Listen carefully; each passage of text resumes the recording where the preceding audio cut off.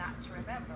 Uh, Selectively remembering certain Well, then you had prosecutors, the defense. That's not Miss Love. You had prosecutors up there that didn't remember. You had officers up there that didn't recall. You can't get upset because he can't recall. That boy been sick. He can recall something, but not everything, love. You don't even remember half the things you did in 2015. to the state, to the victims, or to this side, period. And I believe that in the, in the spirit of, in the adversarial spirit that our rules of evidence um, are designed around, and given the spirit of admissibility that is enshrined in She our reading again. and given the reason that I'm Look at her head down, not read. trying to belabor anything. This is important and detailed information. I'm not saying did you say D or A or AN.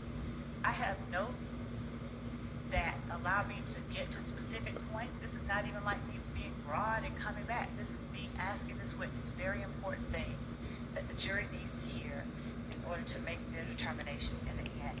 And I ask the court, since this is a very important case um, with very intricate facts and very intricate law that the court is going to give them. But you're not showing that. Allow me to thoroughly examine my witness the way that I believe is appropriate, as opposed to the way that Mr. Steel, Mr. Sharp, and anyone else It has wants. nothing to do with whether who thinks what is appropriate. It has to do with, you know, following the rules of evidence, um, getting on with this incredibly lengthy trial.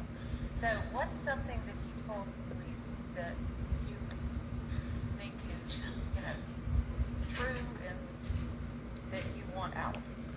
everything that I'm asking him. Judge, I'm, and let me also say, getting along with this very lengthy trial, um, it, it should not, it should not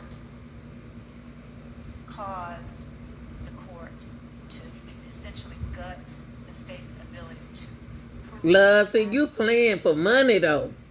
Objections based on I don't I don't know what the, object, the objections from the defense. They of course they don't want this out, um, Your Honor. But this is not being asked in a way to belabor anything. There's She won't even look up when she talk, y'all. Read ain't normal.